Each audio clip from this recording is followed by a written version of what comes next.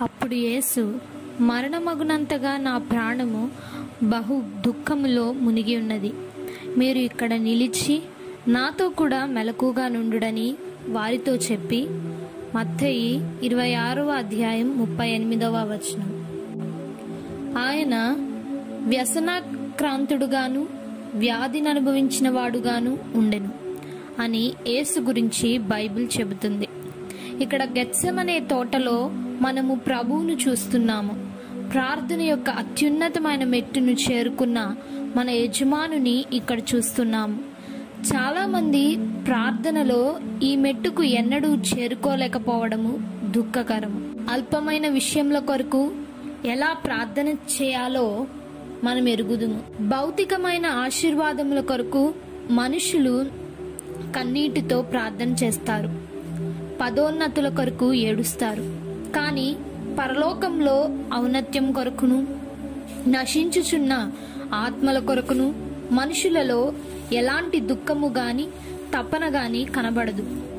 మరణమగునంతగా నా ప్రాణము బహు దుఃఖంలో మునిగి ఉన్నది అని యేసు చెబుతున్నాడు. మరణమగునంతగా ఎవరైనా పాపి కొరకు నీవు ఈ రీతిగా దుఃఖించావా? యావత్ ప్రపంచమును అనగా సకల జాతుల స్త్రీ పురుషులను ఇంకా పుట్టని వారిని నిన్ను నన్ను కూడా కౌగలించుకుంటున్న ప్రార్థనను ఇక్కడ చూస్తున్నాము.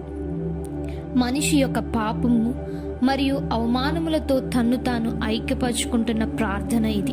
కొంత దూరం వెళ్ళి సాగిలపడి నా తండ్రి సాధ్యమైతే ఈ గిన్నె నా యొద్ద నుండి తొలగిపోనిమ్ము. ఆయనను నా ఇష్ట ప్రకారము కాదు నీ చిత్త ప్రకారమే కానిమ్మని ప్రార్థించను. ఇలాంటి ప్రార్థన అంటే సాతానుకు చచ్చేంత భయం సమస్త జాతులకు విడుదలను అనుగ్రహించే ప్రార్థన ఇది. ఇలాంటి ప్రార్థన మనము చేయడము సాతానుకు ఎంత మాత్రము ఇష్టం ఉండదు ఇటువంటి వేదనతో కూడిన ప్రార్థనకు వాడెంతో భయపడిపోతాడు. మనము రకరకాల కూటముల చుట్టూ తిరుగుతూ యూట్యూబ్ లేదా ఇతర సాధనముల ద్వారా వేల కొలది వర్తమానములను వింటూ ఉంటే సాతాను పట్టించుకోడు. కానీ ఇలాంటి ప్రార్థనయే సాతాను రాజ్యములో విధ్వంసమును సృష్టించి దానిని నాశనం చేస్తుంది. ప్రియా స్నేహితులారా మరొకసారి మనము కల్వరిని గూర్చియు సిలువలో కాచబడిన ఆ ప్రశస్త రక్తమును గూర్చియు ఆలోచిస్తూ ఉండగా ప్రభు యొక్క నిరుపమానమైన ప్రేమను జ్ఞాపకం చేసుకుంటాం మరియు సిలువ ఎంతటి వేదనకరమైనదో ఆలోచిస్తాం. కానీ ఈ సంగతులన్నిటి వెనుక జరిగిన ప్రార్థనను అర్థం చేసుకోలేం.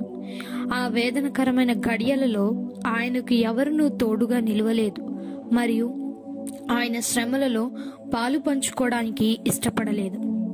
సంఘము అను ఆయన శరీరము కొరకు క్రీస్తు పడిన పాట్లలో కొదువైన వాటి యందు నా వంతు నా శరీరమందు సంపూర్ణము చేయుచున్నాను అని పరిశుద్ధుడైన పౌలు చెప్తున్నారు. క్రీస్తు శ్రమల మరియు ఆయన మరణములలో అసంపూర్ణమైనది ఏదియూ లేదు. మరి పరిశుద్ధుడైన పౌలు చెబుతున్నదేమిటి? క్రీస్తు ప్రేమ యొక్క ప్రభావమును మీరు అనుభవించేటట్లు ఆయన యొక్క శ్రమలను నేను కూడా సంపూర్ణముగా అనుభవించాలని ఆశిస్తున్నాను. అని ఆయన మాటల భావం.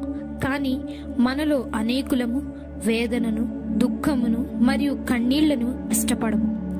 అన్ని సుఖంగా గడిచిపోయే జీవితమునకు నీవు అలవాటు పడిపోతే ఏదైనా విలువ కలిగిన దేనిని కూడా నీవు సాధించలేవు. సాక్షాత్తు ప్రభు అయిన సుక్రీస్తే ఈ శ్రమల గిన్నెలోనిది పానము చేయవలసి వచ్చింది. అది ఎంతో కష్టము. అందుకే నా తండ్రి సాధ్యమైతే ఈ గిన్నె నా యొద్ద నుండి తొలగినిపోనిమ్ము ఆయనను నా ఇష్ట ప్రకారము కాదు నీ చిత్త ప్రకారమే కానిమ్మని ప్రార్థించెను. మానవ దుష్టత్వము మరియు పాపముల చేత ఆ గిన్నె నిండిపోయి ఉన్నది. కానీ ఆయన విషమును ఆయన ఆ విషమును స్వీకరించాడు. ప్రభు అయిన యేసుకు కూడా అది అంత సులభంగా సాధ్యపడలేదు. యేసుకు తన జీవితంలో ఒకే ఒక సంకల్పము మరియు గమ్యము ఉండినాయి. నా చిత్తము కాదు నీ చిత్తమే.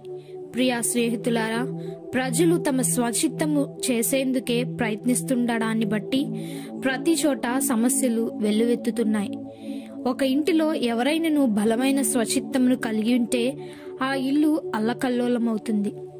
ఒక కుమార్తె గాని కుమారుడు గాని భార్యాభర్తలు గాని ఎవరైనా గాని మూర్ఖముగా స్వచిత్తమును వెంబడిస్తే ఆ కుటుంబంలో సమాధానము నాశనమైపోతుంది. ఒక కఠినమైన పోరాటము అనగా పోరాటములన్నిటిలోనూ ఘోరమైన పోరాటము ఇక్కడ కనబడుతున్నది.